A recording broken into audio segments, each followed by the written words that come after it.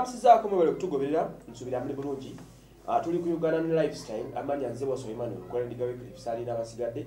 saako ne rose construction zekola ku byokuzimba kuba plan z'amayumba nebifaananako ng'ebyo bikusa ku construction.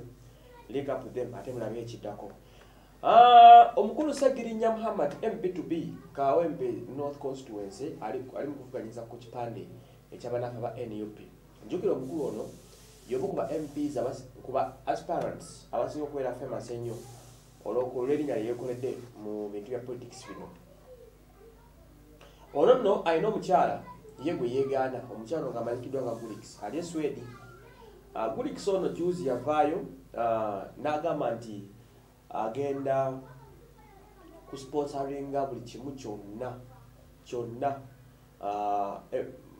omukulu sekinya kyeyetaaga okufuuka mp omuli okumuwa emmotoka yabugamba range rover yatuuse dda esente zetagisa amafuta transport biki kwambala. Agamba nti byonna ajja kuba abimutera ku table alabike nti uh, segiringa ba mp awuwuuta buva nga tewali yadde kimulemesezza. Era bwatyo yavaayo nti segirinya yesaalongowe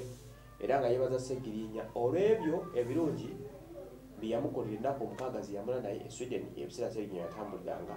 nagamba nti tayiza kutamufaako nakubadde laavu yaggwawo ah, yafuuka ex we mu mukwano gwe. Naye yakyamwagala nnyo era nga yali amugano nga asookaddeyoko e sweden bamuterezeterezemuko ku misuwaana biki amusabire ne ku saala n'ebirala. Ye nga naalongo saalongowe ekintu kitambule nga kiri kiriya mwana tusegirinya bino ebintu byonna bibaddengawo ng'abiraba era ng'asirise olwabimubuuza nti segirinya ensonga za gulikisi zino ozimanyiiko ki segirinya ekisooka neyegaana gulikisi n'agamba nti ye gulikisi amumanyi nga mukwano gwe naye tebabangako na love affair yonna wakati we ne gulikisi kyekisooka love affair tebangawo yadde nemu. Ye gulikisi amanyi nga kyaliwe kyekisooka kya byonna agamba nti tafunanko neze ennaku gulikisi yayogerako mu ennaku omukaaga zebabeera esudeni nga segirinya amusanyusa mutazimusanyusangako agamba na- n'akafaanani gulikisi kalaga abantu kaali just kaserefi kebaali beekubiza nga bona okubira kyali wakafaanani nokakolaki kakaserefi ne mukashiyalinga so nagamba nti ebyo byona byona gulikisi byesibako. Ye sibba wa gulikisi tabanga kubba wa gulikisi gulikisi just mukwano gwe gwe yasanga esudeni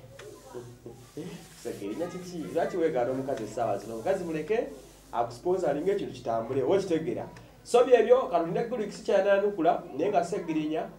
in broad daylight yasobodde okuba nga agenda mu maaso n'okwegaana omukyala gulikisi ono n'amugamba nti aa nze gulikisi sikumanyi nnyo nkumanyi nga mukwano gwange nze wasemanyi